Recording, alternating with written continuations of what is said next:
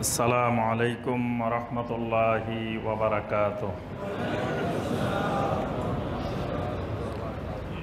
নবী সাল্লামকে আল্লাহাক সতর্ক করতেছেন যে, রাসূল, খবরদার, মানুষের সন্তুষ্টির জন্য, মানুষকে বাড়ানোর জন্য, দল ভারী করার জন্য, যে কিছু কথাকে বাছাই করে নিলেন, বাকি সব কথা বাদ দিয়ে দিলেন। ইসলামের অর্থনীতি বাদ, অর্থনীতির কথা বলব না। অর্থনীতি বাদ দিয়ে দিলাম, সমাজনীতি বাদ দিয়ে দিলাম।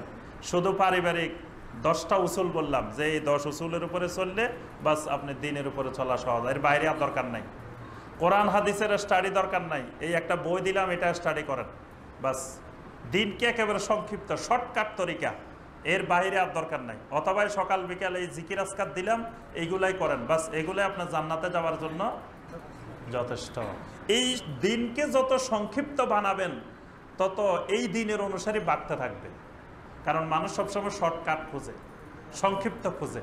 যত দেখবে যে বিস্তৃত, তত মানুষ ওইটাতে কম যায়। আর যত দেখবেন সংক্ষিপ্ত। আপনি যদি বলে দিতে পারেন যে আগামী পাঁচ তারিখে আমাদের এখানে একটা আব্বাল মোনাজাত হবে, একটা ওয়াসাতি মোনাজাত হবে, মাঝামাঝি মোনাজাত হবে আর একটা আখেরি হবে। এই মোনাজাতে যদি অংশগ্রহণ করতে পারেন, তাহলে আপনার দুনিয়া, আখেরাতের সগিরা, কবিরা, তবিলা, যত রকমের গুণা আছে, সব শেষ, সব মাফ হয়ে যাবে। বাস আপনি আর লক্ষ লক্ষ মানুষ আর জায়গা দিতে পারবেন না। কারণ শর্টকাট তরিকা, এক মোনাজাতেই সব পরিষ্কার। তা আপনি এত শর্টকাট আর কই পাইবেন? আর আবার ময়দানে একটা শর্টকাট তরিকার মোনাজাত হয় না, আজ পর্যন্ত হয়েছে কোনোদিন। যে ময়দানে দোয়া কবুলের একেবারে নির্দিষ্ট মার্কাস রাসুল সাল্লাহ সাল্লাম দোয়ার ব্যাপারে গ্যারান্টি দিয়ে গেছেন। বলছেন কি খাইরুদ দোয়া, এ দোয়া ও আরাফা। সবচেয়ে উত্তম দোয়া হলো আরাফার দোয়া। আরাফার দোয়া কোনোদিন ফেরত যায় না। যেই দোয়া করবেন সেই দোয়া কবুল হয়। কিন্তু আরাফার ময়দানে আখেরি মোনাজাত হয়। যেখানে দোয়া কবুলের জায়গা, সেখানে আখেরি মোনাজাত নাই। প্রথম মোনাজাত নাই, শেষ মোনাজাত। আচ্ছা আখেরি মানে কি? শেষের পরে কি? তো প্রতি বছর আবার আখেরি হয় কেমনে? আখেরি তো জীবনে একবারেই হবে, যে এটা শেষ। নবী সাল্লা সাল্লামের আখেরি হজ ধরেন বিদায় হজ যেটা এরপরে আর নবী সাল্লাম হজ করেন নাই সেটা বিদায়ী হজ শেষ হজ। হ্যাঁ, তো একবারে মোনাজাত এই বছরও হইল আখেরি আবার এক বছর যাইতে বলে আবার আখেরি। অর্থাৎ যে কথাটা আমরা বলছি যে যতই শর্টকাট করে তত মানুষ সেটা পছন্দ করে। কিন্তু মানুষের পছন্দ আল্লাহর কাছে বিবেচ্য বিষয় নয়। আল্লাহ সুবাহতালার কাছে বিবেচ্য বিষয় হলো যে আপনি কতটুকু দিনের উপরে আছেন? হক ফতে কতটুকু আছেন? মানুষ আপনাকে পছন্দ করল কি করল না? এটা মুখ্য বিষয় না। এই জন্য নবীর সাল্লাহ সাল্লামকে আল্লাহ পাক সতর্ক করতেছেন, ফালা আল্লাহ ইলাইক। আপনার উপরে যে ওহি নাজিল হয়, সে ওহি থেকে আপনি কিছু অংশ বাদ দিবেন না, পরিত্যাগ করবেন না। বা ওয়াদাইকুম বিহি সদরুক। আর আপনার বক্ষকে সংকীর্ণ যেন না হয়, সংকীর্ণ করবেন না। অর্থাৎ আপনি ছোট্ট দিন বানায় নেবেন না। আল্লাহ যে দিন দিচ্ছেন, সেই দিন হলো অনেক বিস্তৃত দিন।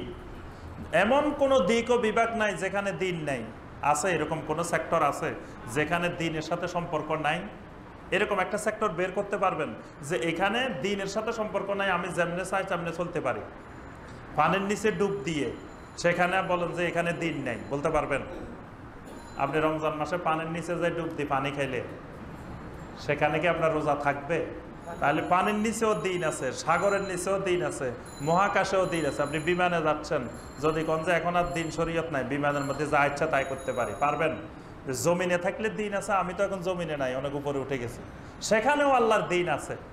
এমন কোনো জায়গা নাই পৃথিবীতে আল্লাহর জমিনে যেখানে আল্লাহর দিন বিস্তৃত নেই। এমন কোনো সময় নেই যে আল্লাহ পাক বলে দিলেন যে, ঠিক আছে, এই এক মাস তোমাদেরকে স্বাধীন দেওয়া হলো, যেভাবে ইচ্ছা সেভাবে চলো। এরকম কোনো মাস, তারিখ, দিন আছে? তাহলে বোঝা যায় এমন কোনো দিন, এমন কোনো ক্ষণ, এমন কোনো মাস, এমন কোনো জায়গা নাই যেই জায়গা আল্লাহর দিন থেকে বাদ যাবে। অর্থাৎ আল্লাহ সুবাহতালার দিনটা সর্বময় বিস্তৃত। সব জগতে বিস্তৃত। সব সেক্টরে বিস্তৃত। কিন্তু এটাকে যত সংক্ষিপ্ত করে নিয়ে আসবেন, তত মানুষ বেশি পছন্দ করবে।